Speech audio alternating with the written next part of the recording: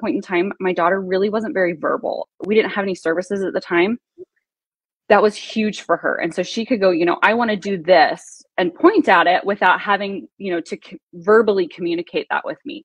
And so we went from fighting every day over, you know, I'd planned for us to do this and her wanting to do that to us collaborating together and going okay well we have to do these things because you have to do these for school but what else do you want to do?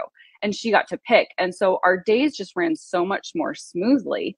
And then as she got older and she was doing stuff you know at she went to a different school and she got more services and supports and accommodations i still kept doing the schedule because she she just loved it and she loved knowing what was coming and what that day was going to be. I mean, I'm not kidding you. The other day, she goes, It's bedtime. She's supposed to be in bed. She's supposed to be in her room.